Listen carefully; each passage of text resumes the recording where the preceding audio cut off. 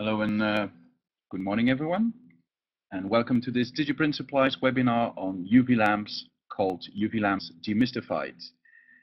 We're going to uh, talk to you uh, today about UV lamps and everything involved with it, um, meaning um, background information, uh, information on the technology, what exactly is a UV lamp, how is it made, and then uh, further along the road, we'll go into uh, details on how you can um, better handle and maintain and store your UV lamps, how they affect print quality and what you can do about it. And as usual, with our DigiPrint Supplies webinars in the end, there'll be room for questions and answers. Now, today's uh, webinar will be done by uh, David from UV Integration, which is uh, one of the leading European manufacturers of UV lamps and solutions. So I'm happy to um, get David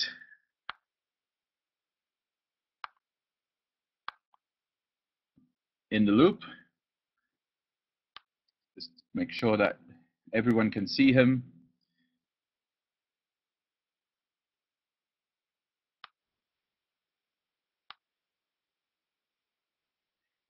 All right. David, over to you. Good morning, everyone.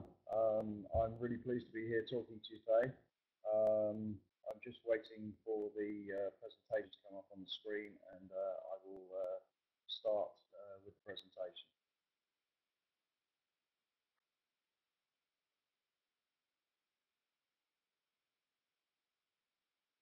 Philippe, uh, if you can hear me, I'm not seeing the presentation at all at the moment. Can you put your volume up, David? I can.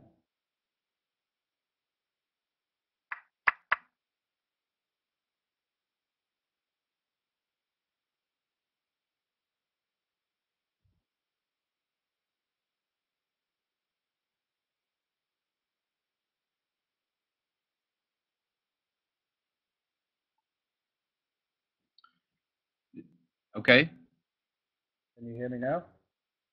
still the same. Higher? Need it higher yet. Okay, I'm just doing it now.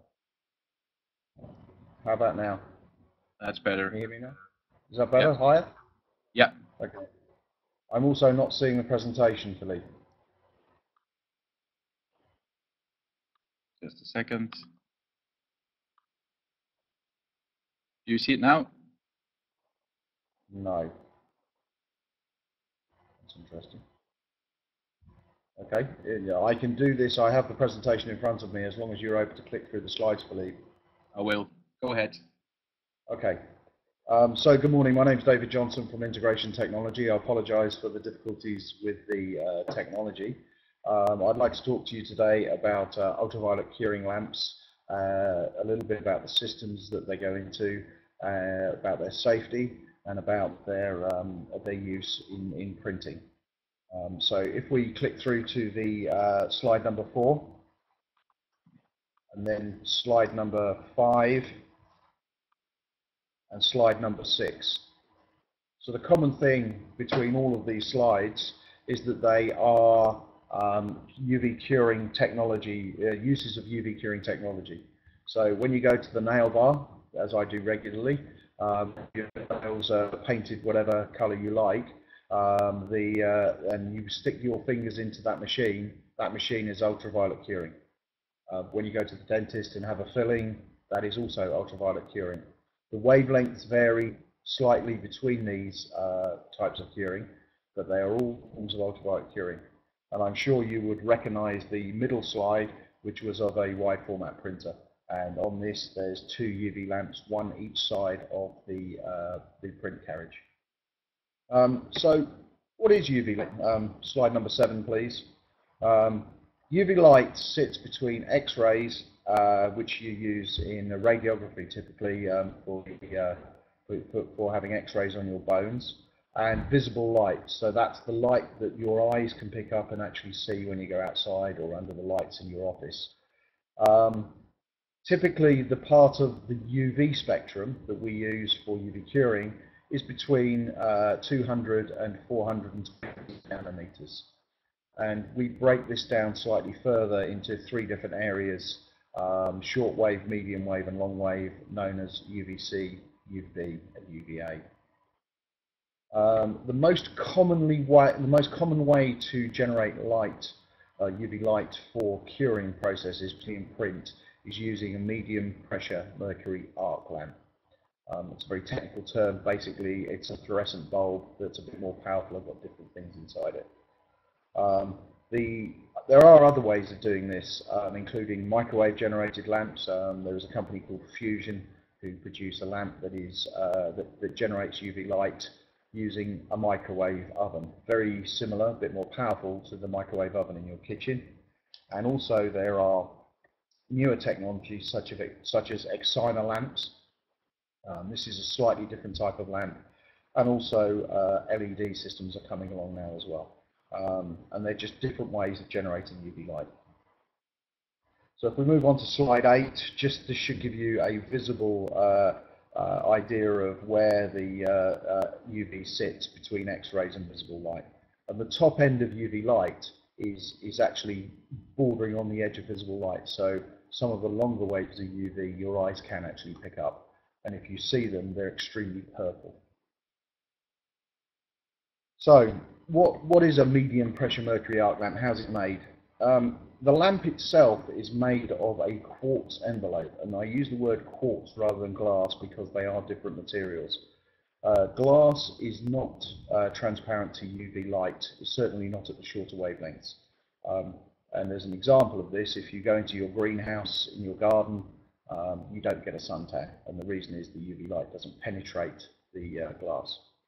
Um, so we have a quartz tube, and in the end of the tubes, we stick two electrodes uh, and we, we hold those in place in various different wheels, uh, different ways.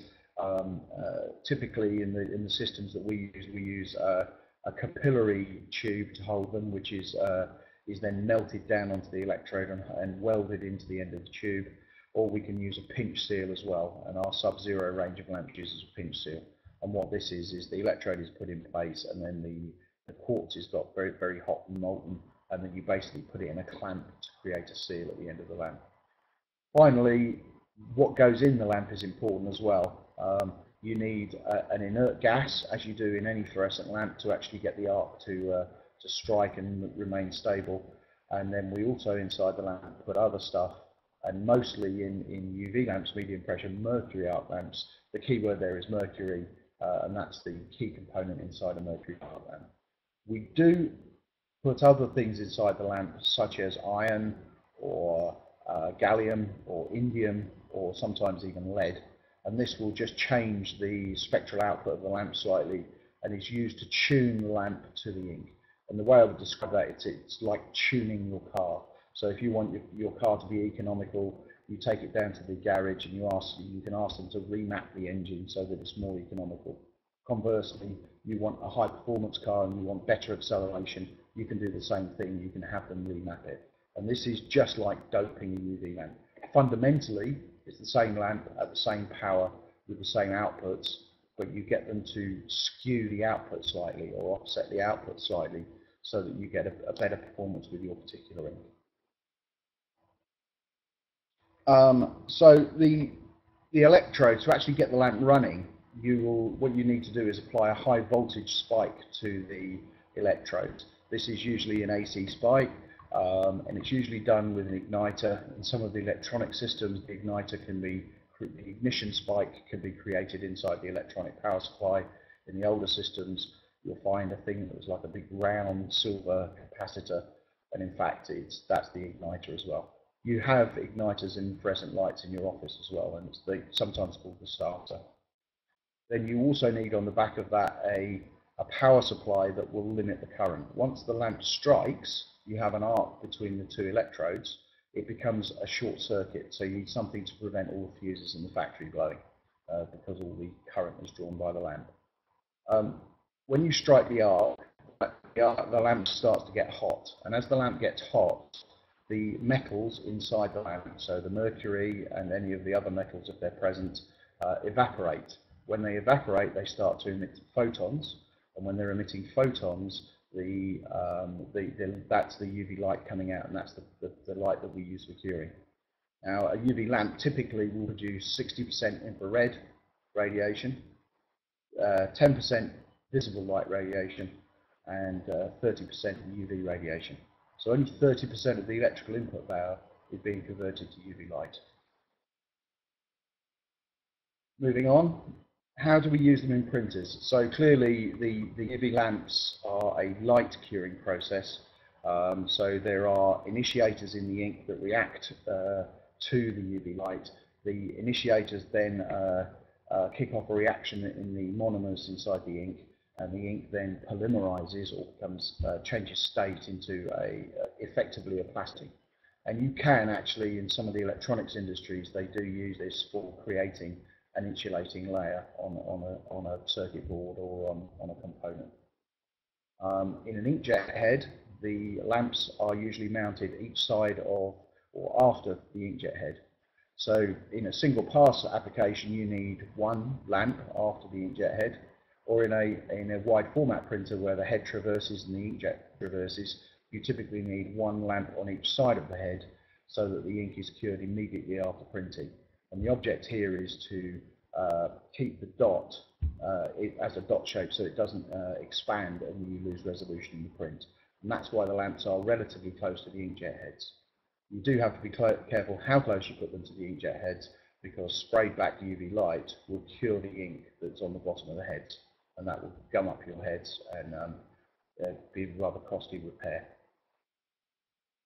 So if we move on to slide 12, um, the printer here is uh, is um, an inkjet printer, wide format inkjet printer. It's it's an old Zünd printer, um, and you can see I've I've indicated with the arrows where the lamps are. And I'm sure if you have a printer like this in your factory, you will recognise this kind of setup um, pretty easily. Um, slide 13. How are so? So we're using the lamps in these printers. Um, we can the lamps wear out. The lamps have a set life, and the reason is that the electrodes erode uh, over the life of the lamp. If you think of the electrodes in a lamp as an arc welder, um, you have a, a welding rod that wears down as you as you weld two pieces of metal together. You, are not welding metal in this case, but you have an electrode the same that is sputtering an arc out of it, and that is, is, is very molten. Now, the electrodes are made of some pretty clever materials. There's molybdenum in there, there's titanium, and there's various different oxides in there. And the object is to reduce the amount of sputtering and the amount of material that's sputtered into the lamp. Because once the lamp is, once the uh, it, once the electrode sputters and the material is given off, material will, com will combine with the other metals in the lamp. And this is uh, worse when you have a doped lamp. Um, so if you have iron in there, it's much more reactive than mercury and wants to combine with the other metals that are in the lamp with, the, with, with what's being emitted from the electrode. And uh, that, that then joins together, it uh, forms another compound, and the compound is deposited on the end of the UV uh, lamp. And as you will see um, in some of the other pictures in a moment, this is usually seen as black marks on the lamp or black rings around the end. And usually this will start at the end of the lamp because that's the coldest area of the lamp and where this will condense out of solution the first. Um, in this picture on um, slide 13, uh, you will see the uh, a cassette system for changing the lamp. So this is changing the whole cassette rather than changing the lamp. And the object of this is to make it really easy, a very simple procedure, very fast procedure to change the lamp. A bit like changing an inkjet cartridge in your desktop printer. We move on now to slide 14. This is a family of UV lamps. Um, so on the left you have what we call our V0 range of lamps. These are bigger, heavier uh, UV lamps and you can see the lamps at the bottom left hand corner of the picture and this is a lamp change system. So you are actually making electrical connections using a screwdriver, making sure that you put the reflectors back in the correct place uh, and that's a lamp change. The, uh, the uh, black uh, lamp heads on the right hand side of the picture are um, sub-zero lamp systems, and these ones are generally meant for a cassette lamp change. So the lamp is held in a brand new cassette. The object is not to increase the price too far of changing the whole cassette. And when you do change the cassette, you get a new reflector every time. So you're putting your system back to uh, prime prime position, if you like, with a new reflector as well as a new lamp, so you should get back to 100% output. So, as we were discussing, the lamp does age. Uh, the next couple of uh, slides, slides 15 and 16, um, give some of the influences on on the uh, on how the lamps uh, age. So as I said earlier, the electrodes uh, spatter, and that creates material. Dope lamps, uh, material that condenses and combines with the stuff that's in the lamp. Dope lamps, where they're using iron and gallium, um, uh, tend to be more tend to have a much shorter life, typically half the life of the normal mercury arc lamp. The um, things that can make your system cure not so well, obviously the age of the bulb, but how clean the lamp is, if depending on which UV your system you have, uh, if you have a positively cooled system, are you blowing ink fly from the inkjet head straight onto the lamp, and is that then coating the lamp and preventing output? So you need to make sure the lamp is clean. How clean is the reflector? Is it still a reflector? Um, they, they, just by putting the la the lamp in a in a uh, uh, just put, by putting the reflector close to the lamp, you start to destroy the aluminium of the reflector, um, and that so the reflector only lasts for a given amount of time. Um, certainly at peak performance. The other one is, as I said earlier, this is a um, a light process. Therefore, uh, just like your eyeglasses, if your eyeglasses are dirty, you can't see through them. Um, the, the, UV lamp, if the quartz in front of the lamp, if it's fitted, is dirty, then the UV light can't see through that. So it's really important that that is kept, kept absolutely spotlessly clean. So if you have a, a, head crash and you wipe ink onto the uh, quartz at the bottom in front of the lamp, you really need to clean that off before you go any further. The longer you leave it, the harder it is to clean. Um, and there are there are ways that you can do that. Um, curing as well is a subjective thing. There are it's a whole different uh, conversation or different webinar that we could put together just on measuring UV light output. The problem is this is not like measuring centimeters or volts or anything like that. There is no defined um, uh, calibrated um, parameter that you can actually measure this.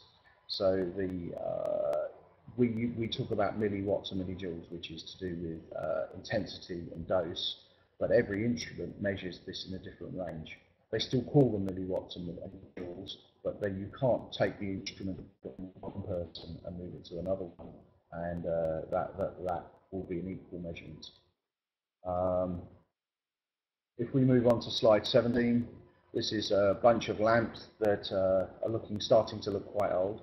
Um, if you look towards the left-hand end, you'll see the uh, the very dark, smoky lamp there. Um, this is this is, this lamp has been abused for whatever reason, and you can see that it's starting to uh, um, it's starting to uh, wear out. Basically, it's, it's got a heavy usage in life. If you look in the middle, uh, interestingly, the lamp right in the middle has a yellow end. Um, this is uh, not. This is the other stuff apart from mercury that's in the lamp. In this case, it's uh, probably lead. Um, and what's actually happening is the uh, this this is probably a nearly new lamp, and the lamp needs to be struck. Then that will all evaporate, and then you won't see it again afterwards. This is just part of the testing procedure of when the lamp is built new. If we move on to slide 18, um, it's not a great picture because it's a lamp in a lamp head but you can see the deposits on the lamp from uh, uh, external contamination in this case. And in this case, this was dust that was in the air. Um, when these lamps are running, the lamp surface temperature is around 850 to 900 degrees Celsius. Um, and at that point, the surface of the quartz is plastic.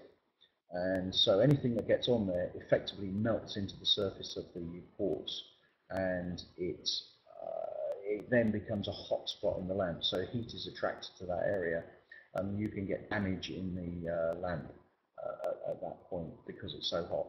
Um, if you remember when you change your car headlights, you're not supposed to touch the, the glass envelope of the halogen lamp because it gets so hot and the grease from your fingers will create a hot spot and uh, cause uh, premature failure of the lamp. And it's the same with the UV lamp.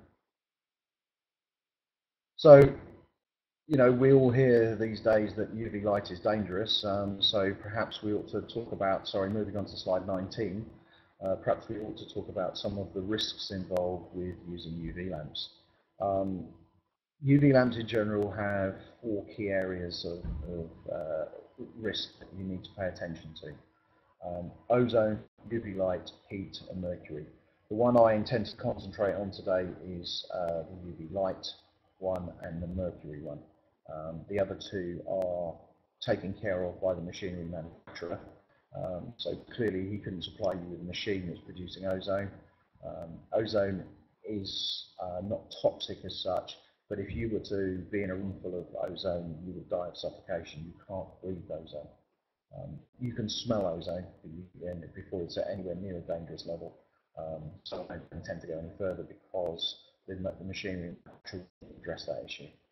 Um, the heat issue, yes, the lamp is very hot, but again, under the uh, regulations, when they supply a UV system, sorry, a, a, printer, they should have taken into account the, uh, the danger from heat that the UV lamp does present. Um, so, moving on to the UV light uh, hazard, which uh, is slide 20. Um, UV light is dangerous. Um, you hear the stories in the news, you know, uh, a lot of the weather forecasts have a, a UV light uh, uh, output setting or uh, measurement where they say it's a high risk day or whatever it is. Um, and so UV light has got some hazards, but we need to break down the UV light again into the sections. Um, so UVA, the, the, long wavelength UV light, is uh, pretty uh, safe. Um, and, at this stage, it would be good to go on to slide 21, please, Philippe. Um, the, uh, it's a much safer UV light. It's, it's not the cancer-causing uh, UV light, and it doesn't damage your eyesight. UVB and UVC are what um, suntan creams try and prevent you being damaged with, your skin being damaged with. So UVB and UVC are the uh, dangerous wavelengths. Um, and if you have a look at slide 21, which is on the, on the screen now, um, you can see the exposure time from UVC and UVB is much, much less. So the, on the left-hand side of this graph is, is effectively the amount of exposure you can have in terms of energy. It doesn't give a time, but it gives it's the energy. So you're only at a much lower level of exposure to UVB than UVA. Um, and just to give you an idea, if we move on to slide 22, spectral output of um, a UV lamp is, is shown here. So you can see if you compare slide 21 with 22, the UVB output of a UV lamp is very significant. So you do need, you don't want to be looking into the front of a UV lamp. If you take it off of the machine for any reason, you don't want to be switching it on and shining it on anyone. This is really quite dangerous things. And from a personal point of view, um, you know, I, you need to be wearing um, uh, you need to, if you're working with any lamps that are uh, exposed in the workplace, not when they're in their normal position on the printer, because again, the manufacturer will have dealt with this issue. But if you take the lamp head off for any reason and start lighting it for maintenance or something like that, then you should have all your skin covered and you should be wearing uh, dark glasses if you're trying to switch the lamp on. And dark glasses, polycarbonate glasses, uh, do give you a fairly good protection from UV light. Okay. Moving on to slide 23, um, the final part of this, um, how should we deal with lamps? How do you manipulate them, clean them, and how do you dispose of them? Okay. You should try and store any UV lamps you get horizontally. Uh, the reason is mercury is quite heavy, and if you store the lamp vertically for a long period of time, the mercury will gradually migrate to the bottom of the lamp and will end up behind the electric lamp. So you should really try and store the lamp in a, in a horizontal position so that this can't happen. The, um, if when you get a new lamp, the first thing you should do before you take it out of the packaging is shake it. You shake it quite vigorously. Now you do need to be careful. They are made of uh, quartz, which is a glass-like real. So if you drop them or bash them with a hammer or anything, they're going to smash just the same as anything else that's made of glass. Um, but you can shake them quite vigorously, and this is just trying to distribute and break up the mercury that will try and uh, retriculate into a, a liquid blob, and if you're not careful, if you're storing the lamp on its end behind the electrode. The danger of this is that this is the coldest part of the lamp, when the uh, lamp is struck, and uh, therefore the mercury doesn't get hot enough to evaporate, and then your lamp won't cure. Um, and so it's really important that you try and break up the mercury before you just put them in. You can do the same thing with a new cassette. If you get a new cassette, just shake the whole cassette quite vigorously in your hand before you put it into the system. If you need to clean the lamp or the reflector or the quartz, you should be using uh, isopropanol alcohol on a lint-free cloth. You don't want to leave any deposits on the lamp at all. Um, if you touch a lamp with your finger, you need to, religiously, you need to clean this afterwards using isopropanol alcohol. The grease from your fingers will create, will burn into the surface of the lamp and will create a hot spot which will reduce the life of the lamp. Um, the same with the reflector. If you get grease from your fingers on the reflector or grease from anything else on the reflector, if you don't clean it, you'll create a hot spot on the reflector. And that actually in the reflector can quite easily create a hole in the reflector. Um, the quartz, back to what I said earlier, uh, the quartz plate underneath the lamp, if you uh, if you don't have a clean piece of quartz, you can't the the ink can't see the UV lamp, and that will reduce the amount of curing that you have. Um, the key thing here is that uh, sometimes the, the, the quartz sits in line with the UV lamp, so it's being exposed to UV light all the time. So any ink you get on that quartz plate will cure very, very well. So the earlier you can get it off, the better the chance you've got of keeping your quartz plate without having to replace it. Um, with lamp quartz plates, um, you are quite lucky, certainly for a while. If you do bake on the ink, you can use a razor blade, very carefully of course, um, to scrape it like a, it's like having a shave. You can scrape off the uh, um, uh, ink that's baked onto the front of the UV lamp. However, you've got to be careful not to scratch the quartz. Um, finally, the uh, mercury uh, inside the lamp is hazardous. So if you have a lamp breakage, you need to, you need to clean up the mercury as well as the quartz that breaks uh, very carefully. Um, and you need to dispose of any lamps and any breakages. In, uh, you need to treat them as hazardous waste. Uh, that varies from country to country how that's done. Uh, for instance, in the UK, we, ha we have to use a special bin that we put our hazardous waste into. Okay, um, that's the presentation as it stands. Um, I'll be happy to take any questions that you have now. Um, thank you very much. All right. I'll open the chat for your questions. So chat is open if you have any questions you can ask them. I'll also change the setting a bit like this.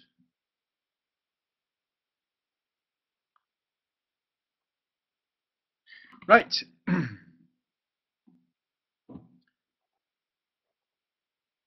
Why are some printers using bulbs in cassettes and some aren't, David? Okay, the it's just a choice thing. Um, clearly, uh, when we designed lamps with cassettes, we we designed it to make it as simple and as fast for the operator of the machine to change them.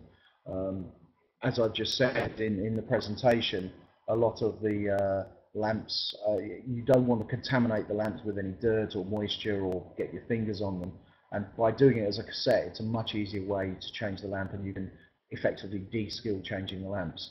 Um, they both have the same effect. The other, the other effect of having a cassette is you put a new reflector in every time. So you are resetting the, the curing to 100% every time, assuming that any quartz plate below the lamp is clean. Um, All right. So. See a couple of other uh, people coming up with questions, or at least typing.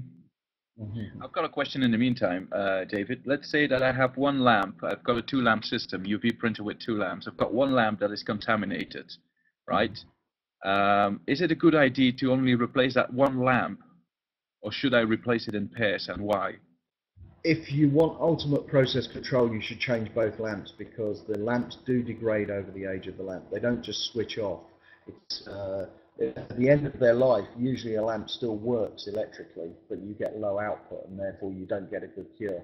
So if you only change one of them, um, you're now liable to get one lamp that's curing much better than the other lamp, and this can give you problems with your print quality, the art, you can get artifacts in your print, and probably banding get, and stuff like that. Exactly, you can get banding.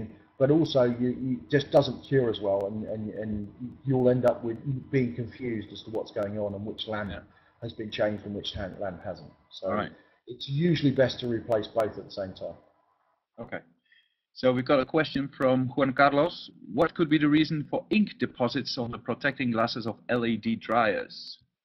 Fantastic. It's a good question, this. Um, usually there's only two reasons for getting ink on the glass of, a, uh, of an LED dryer. Firstly, you touch the media. Now, especially with an LED dryer, you have to run the LEDs very close to the media, and it's very easy to touch it onto the media. And if you've got wet ink on there, that will deposit on the glass, and then you will dry it on there.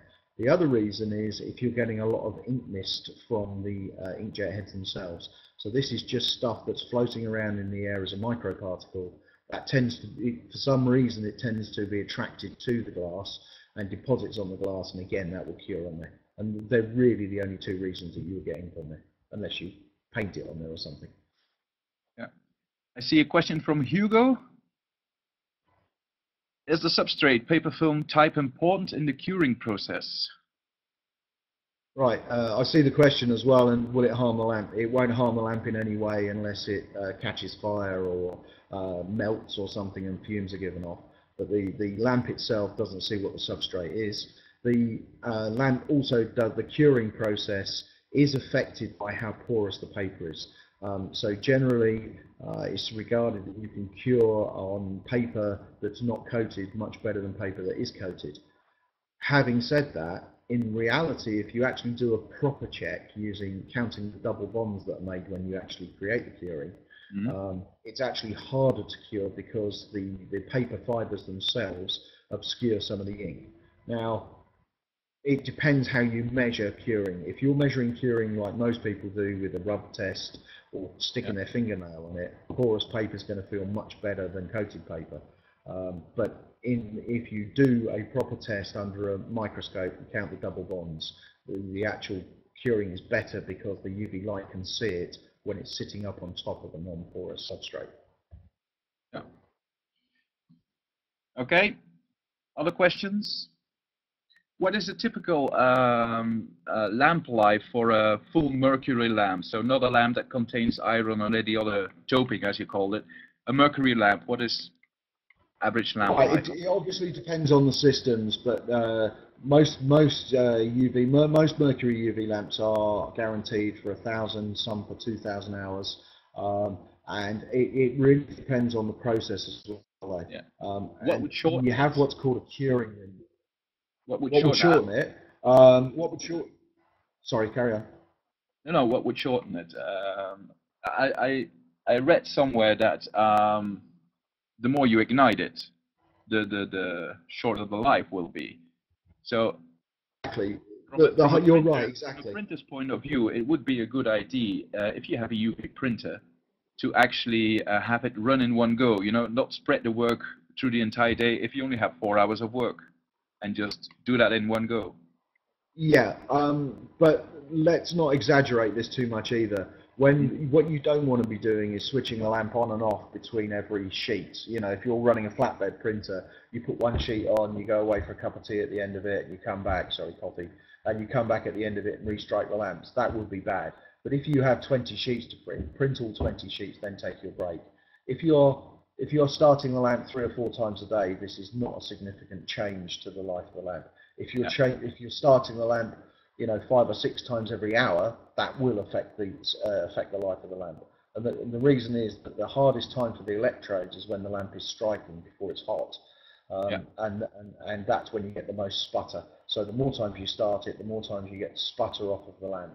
Um, other things that can affect the life of the lamp, obviously overheating. Um, if the lamp becomes too hot, now bear in mind that we need to have the lamp at over 650 degrees centigrade just to evaporate the mercury and potentially any iron in there. Mhm. But we need to keep it below 950 degrees centigrade, otherwise you risk melting the the um, uh, quartz itself.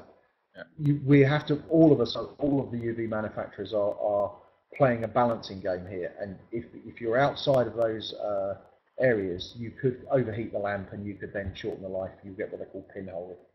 So keeping your, your fans and lamp filters in good condition is uh, essential. Absolutely. Exactly, yeah. And from... also keeping the lamp clean so you don't get hot spots on the lamp as well. If you put yeah. your finger on the lamp, clean it. Yeah, don't touch it it's with a, your use cotton, a, cotton gloves. yeah, that's right. You know, uh, you know, only handle the lamp by the ends. Don't don't touch the cord. You can really really avoid it. it it's it sounds so simple, but it actually makes quite a big difference to the life of the lamp, and the, the longer the life you get out your lamps. So Yura asks if uh, different life lengths can be uh, of the left and right lamp, like we already discussed, affect uh, the color, and um, we agreed that it will have uh, create some print artifacts. You will see banding. The color itself, probably yes. In in my experience, it does. There's also a question from Josef. What is better for UV lamp's service life when there is a 15 minute pause between prints? Should I leave the lamp switched on or should I switch the lamp off, cool it and then start again after 15 minutes pause? Okay, I, I would, uh, 15 minutes, you're right on the borderline between the two. Uh, I would leave the lamp running, um, especially if you've got a low power standby. Um, 15 minutes is the kind of cut-off time. If you're going away for one hour for lunch, no, switch it off. If your 15 minutes is kind of where you want to be making, probably leaving it on. Is the uh, amount of ink that goes onto the substrate, does that affect uh, the lamp? Would it be more stressed or less stressed, as asked by Hugo? Right, the, the lamp doesn't see how much ink you put down. The lamp has no idea how much ink you're putting down whatsoever, so, that, so the lamp itself is not more stressed. Having said that, the more ink you put down, the harder it is to cure. Therefore, you need the lamp in a better condition, you need more output from the lamp. So as the lamp life gets older, you will find it harder to cure uh, heavier film coverages of ink.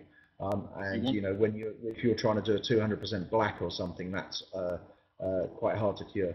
Interestingly, usually the hardest color to cure is white. And the reason white is hard to cure is because the pigment used in white ink is titanium dioxide. And titanium dioxide reflects the UV light very well. Um, and, and, again, inkjet seems to be a little bit different. If you go to offset printing or flexo printing or something like that, black inks are usually regarded as being quite difficult to cure. For some reason in inkjet inks, and it's apparently something to do with the pigments that are being used, yellow is quite hard to cure, and so is magenta. And so it's a, it's a bit of a it's a bit of an odd in that respect. But, but, but certainly some colours are harder to cure than others, and the thicker the film coverage, the harder it is to cure. Yeah, because if you have a thick layer of ink, to put it in this way, you need more curing to have the correct adhesion. So that would affect lamp life, or, or, or at least uh, have some effect on it, no? Absolutely. Um, the the thicker the film, the further the light, and you're talking about light again, has got to penetrate through the ink film to cure them the lower layers of the ink. Now, there's some interesting things here as well. Lamps, if, if you remember the spectral output that I put on the screen in the presentation, you see you had UVB, UVC, and UVA. Typically, we would say the UVA does the through curing. So if you're, use, if you're using very thick blacks and whites and things like that, then you need lots of UVA to get that cured. If you want to get a good surface cure, a really hard cure on a, a rigid substrate or something, then you're much uh, it's much more critical to get UVC output from the lamp, which is at the opposite end of the spectral output, um, because the UVC overcomes a thing called um, oxygen inhibition. So um, oxygen slows the reaction time, and the shorter wave UV is much more aggressive, and it, although there's less coming out, it actually cures the surface very well, but it won't penetrate the surface. So Yes, Steve, that's what we were saying. If you have uh, different uh, left and right lamps in terms of, of power, then you could see banding. Um, even if you would use uh, curing with both lamps on, so not leading and not trailing, you would still, uh, depending of course on the substrate, be able to see banding. Question coming in from Hugo and Kristen. Okay, just to comment on the banding, banding is a very interesting one with uh, which you, you only see with UV printers really. If you imagine you've got an inkjet head that is moving across a, a stationary surface at something like 60 meters a minute or slightly more meter a second, um, when you have a droplet, it drops out of the um, uh, inkjet head as a round globe, a sphere, more or less. It, it doesn't. But then you, when it hits the surface of the substrate, it's immediately deforms because it's decelerating massively as it hits the surface. And then the UV lamp comes across and cures it. So if the UV lamp is very close to the droplet, you get a, a very um, a dis, uh, a very um, misshapen dot, and it will cure it in that. But of course, when you go back the other way, printing direct bidirectionally, the droplet is in the opposite side, and that is some of the banding that you can see.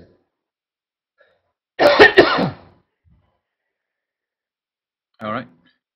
Are UV lamps developed with for specific inks together with the ink manufacturers? So are you working together with the ink manufacturers?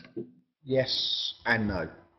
Uh, yes. Um, what happens is it's usually with the in, we would normally say there's a tripartite way of developing uh, something. So the reason we have dope lamps is because the ink manufacturers have said, hey, I'd like more through cure or I want more surface cure or whatever it is. Um, and and especially when inkjet first came along, the film thicknesses in inkjet are quite thick, so that we're particularly looking for ways of, excuse me, of increasing the UVA output. So we were adding things to the lamps that increase the UVA output. Uh, and we actually call it a, an A bulb in, our part in, in our, our lamps. And what this does is it moves the spectral output, bit of the spectral output to the UVA area, gives you better through cure for thicker films. But what happens is that, and this was back in 2002, 2003 when they were first coming out, this was much more of a, a thing that was going on then. Nowadays, uh, the ink manufacturers are becoming much cleverer at the way they make inks, and they're reverting back to standard mercury lamps, which is great for the end user because you actually get a longer life with a mercury lamp, because yeah. anything you put in with a mercury is basically a contaminant. Um, so we're, we're again walking this narrow tight path of adding contaminants to change the output of the lamp, but not adding too many to shorten the life of the lamp too much. And I'm, I'm sure everybody's going to turn around and say the life of the lamp is too short, but uh, yeah. this is a balancing act. Okay. All right, that's great.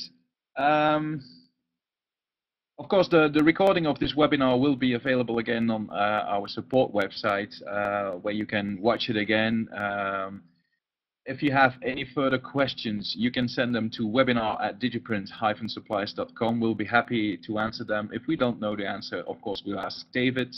Um, so thank you for joining us today. Thank you, David, and uh, hope to see you all again next month for the next webinar. Cheers.